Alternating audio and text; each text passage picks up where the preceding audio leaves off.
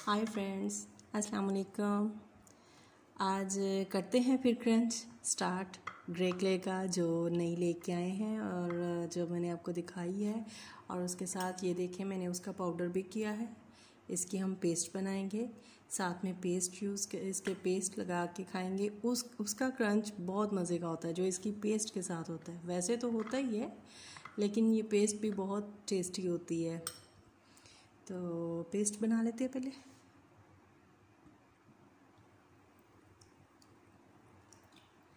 बहुत से लोगों ने कमेंट किया है कि ये सीमेंट है या पत्थर जैसी है, लेकिन ये ना तो सीमेंट है, ना पत्थर जैसी है। जैसे ही हम इसका पेस्ट बनाते हैं तो यानी इसको पानी इसमें पानी डालते हैं तो ये ना बिल्कुल सॉफ्ट क्रीमी हो जाती है। अगर मतलब जैसे मुल्तानी मिट्टी है, कुछ लोग देखते ही होंगे उसके भी एक्सपेरिमेंट किया होगा कि उसको पानी डालो तो वो कैसे फ़ौर मेल्ट होना शुरू हो जाती है। ये भी वैसी ही है, इस इसको भी पानी डालो तो ये फ़ौर फ़ौर मेल्ट होना शुरू हो जाती है मतलब पेस्ट बन जाती है पेस्ट फॉर्म में चली जाती है। ये देख सकते हैं आप? पेस्ट बन गई है इसकी। और इसकी पेस्ट भी बहुत से लोगों ने पूछा है कि ये इसकी पेस्ट कैसी बनती है, ये कैसा है? तो ये इसकी पेस्ट भी बहुत टेस्टी होती है। अच्छा मैं आपको एक बात बता दूँ, मैं बहुत पहले ये स्वेलो किया करती थी, लेकिन अब मैं ये स्वेलो नहीं करती हूँ। तो मुझे क्रंच करने का बहुत मज़ा आता है और इसकी पेस्ट भी बहुत टेस्टी है बट मैं स्वेलो नहीं करती हूँ। क्योंकि ये कुछ भी हो जाए क्ले किसी तरह की भी हो हार्मफुल होती है। और इसलिए अपनी सेहत का भी ख्याल रखना चाहिए सबको। इसलिए ये देखें पेस्ट बन गई हमारी। ठीक है? पाउडर चूँकि मैं कर, करके मैंने रखा हुआ था इसका। तो स्टार्ट करते हैं। सबसे पहले बड़े पीस से। ये देखिए, मैंने आपको दिखाया भी था। कितना प्यारा है स्मूथ तो स्टार्ट करें।